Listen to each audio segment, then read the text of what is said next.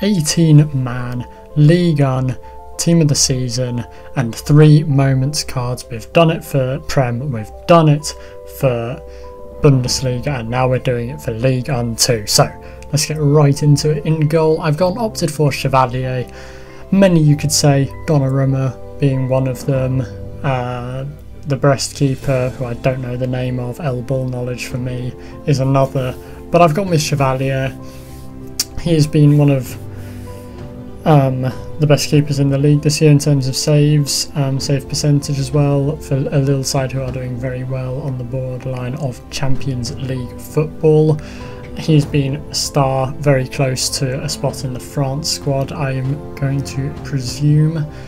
Um, a little bit of competition, but I've opted for Chevalier. Now, right back is incredibly boring. He probably doesn't deserve it. If you think someone deserves it more, let me know. But I've opted for Hakimi.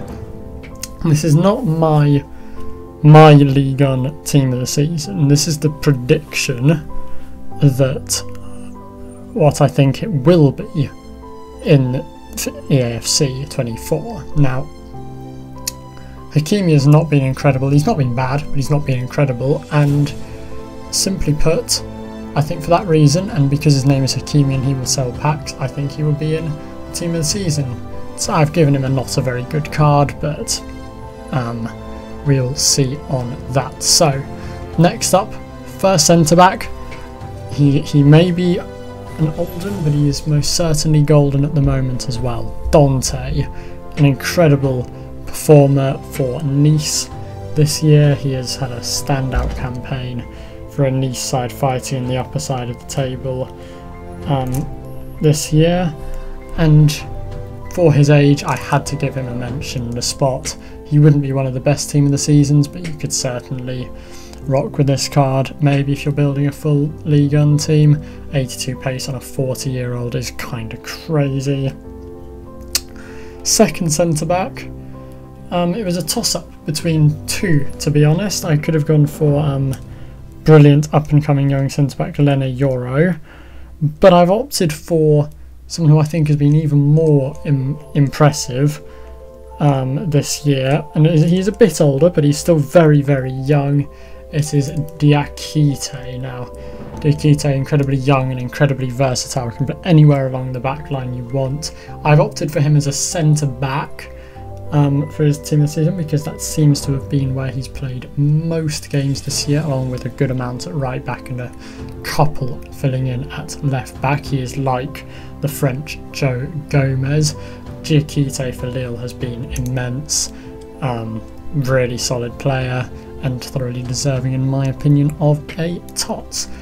And obviously, centre back number three, it's not really going to come as a surprise. He's the best defender in Ligue 1 at the moment.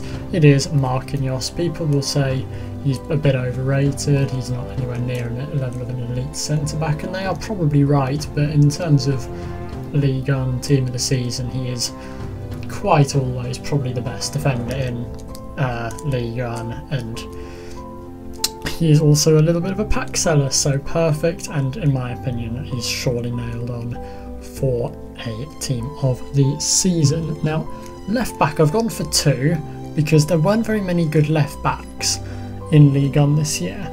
And I've gone for Brest left back uh, Locko. Now, he, Bradley Locko is, uh, I believe, quite a young French left back, but he has excelled for Brest this year in a team that has massively overachieved the expectations this year. That he is not the last Brest player to feature in the team of the season that I've predicted either. But I think for a lack of left backs, I think he's he's scored quite a few. He's assisted a decent amount as well from left back. Not crazy numbers, but he seems to have done pretty well. And obviously, his Brest team have done really incredibly well. So I've given him one, and I'm also giving it to Nicholas Tagliafico. Now, he probably won't get one, but I was when I was doing my research for whose numbers looked particularly good, I was surprised by the very good stats of Nicholas Tagliafico, who's underwhelmed a bit um, since joining from Ajax. But um, the Lyon man, obviously part of a dismal first half of the campaign, has stepped up the second half of the campaign has got numerous goals and assists from left back. And does he deserve it? Probably not, but I there were not very many good left backs, to be honest with you. Also, I do apologise this video is so late going out. Um, I was very ill on the Monday, and that's normally when I do like a lot of my prep work for these videos, so that I can then uh, edit all of the cards, um, do my voiceover for the video, and then do all the editing and thumbnail design and stuff, all, all on the Wednesday to be uploaded on the Thursday. Um, but today I was ill on the Monday, and then just I was running a bit behind all week, so apologies.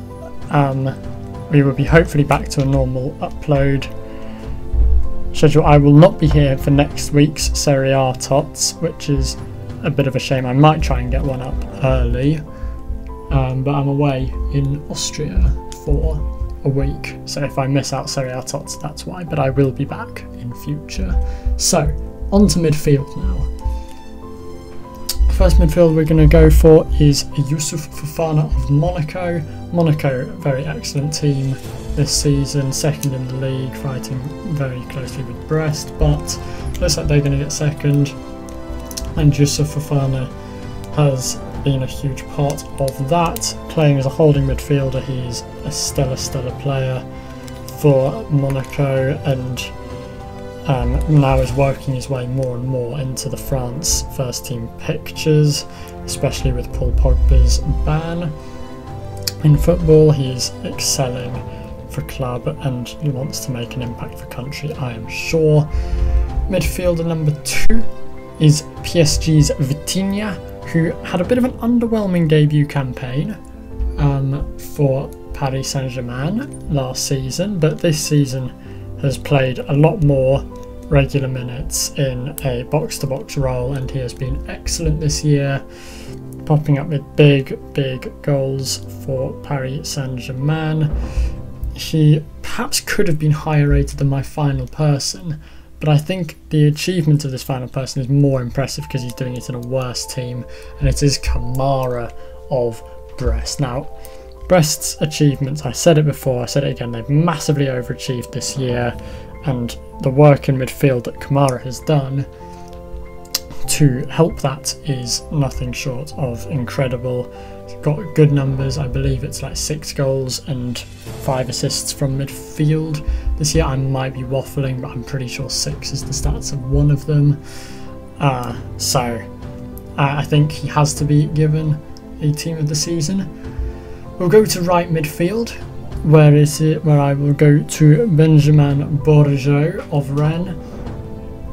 This guy is on the climb up through the Rennes ranks. Five years ago he was a nobody and now he is the most important player for Rennes. It's not been an amazing year for Rennes, but it has been for Bourigeaud. 9 goals, 6 assists is a very respectable return for a player who is playing on the right midfield or central midfield. I've given him a right midfield card because that appears to be where he's played most games this year. But if he has, he, he would have a centre mid alternate position as well. So, central attacking midfielder. I've only given one cam, but I have gone for more central midfielders in general. So, the cam in question, he always gets one because he's always the star man for his team.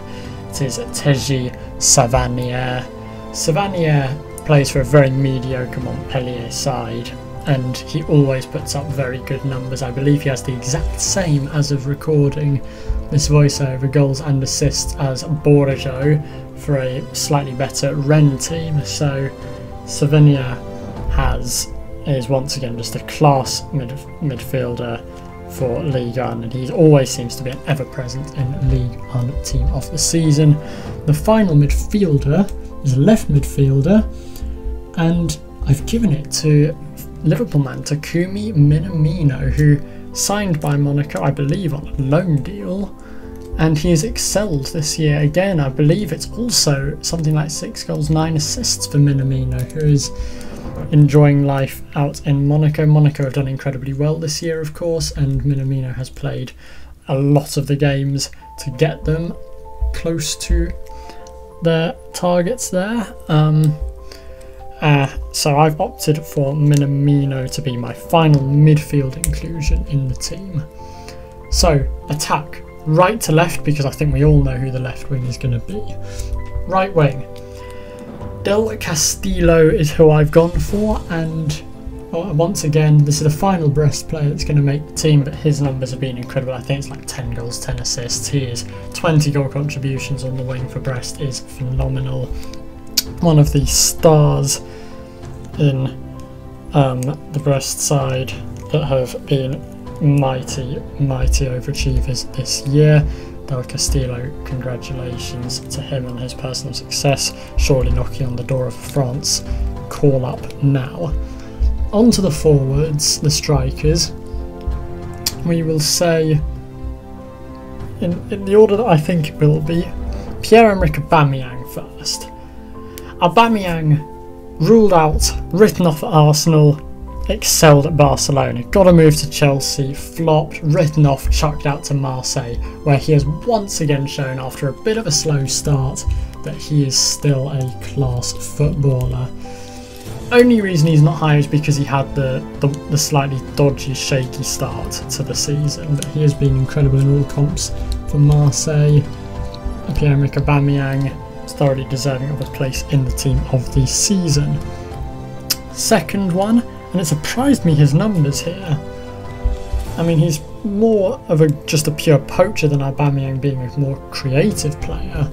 It's Alexandre Lacazette, and Lyon were bottom of the league halfway through the season, which was incredible. And I just thought, Lacazette must be having a bit of a bad year then. But his numbers are incredible. He still has 18 goals and something like three or four assists. That's a very respectable return for Lacazette, who again was chucked out of Arsenal. Again, in the idea that he wasn't good enough.